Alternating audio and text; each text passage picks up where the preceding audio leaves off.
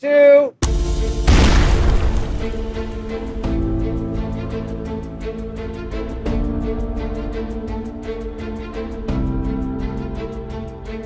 Legacy is a short film about the history of filmmaking. We follow our character, Jake, as he grows from a PA in the 70s to a successful, ambitious, and fulfilled director in 2017. You know, there are so many different elements in this shot. Everything has to go just perfectly. But with the Ronin 2, it's basically a portable remote head where you can transition from one platform to another seamlessly. We wanted to put it to the ultimate test. I don't think I've ever been involved with anything so ambitious. Having a live set of that size really requires perfection from start to finish. Every person, every department, every tool, including the Ronin 2, had to be top of the line.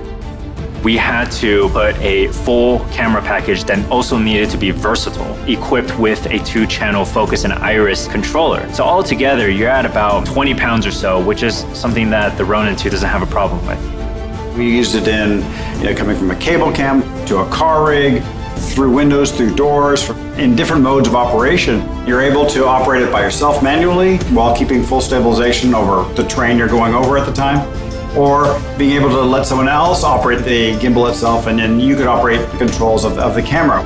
It also has a hot swappable battery system on it. The two batteries power for hours. This is an enormous undertaking. We have 85 crew members we have 65 cast, 10 stuntmen, and uh, basically there's a lot riding on it. Here we go, and action.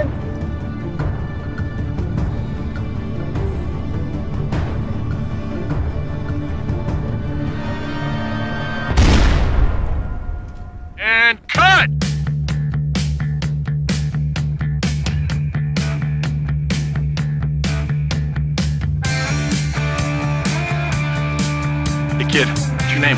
Jake. Keep up the good work. All right, everybody, back to one.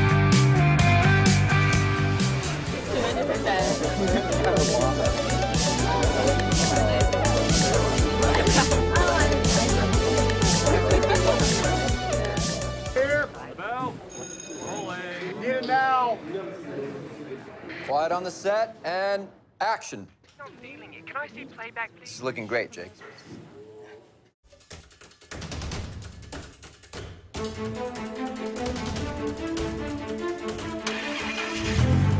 good? We good? Are we good? Let's go. Yeah. All right, let's go. Oh! Behind you!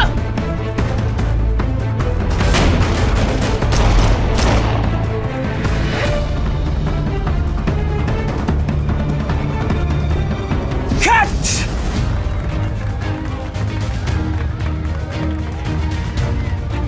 Shooting's definitely a test of patience.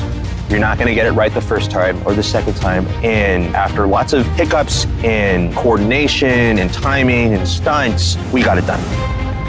We did not have any issues executing this complicated setup over and over and over again.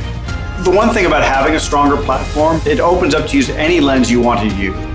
So I'm not feeling like I have to use, you know, compact primes or ultralight primes. We used a master prime for the project we were shooting. It was actually heavier than the camera itself and I had no problem balancing it out, which is why I'm attracted to the system. I really want someone to walk away inspired to, like Jake in our short, see their potential legacy in becoming ambitious, fulfilled, and realized filmmakers.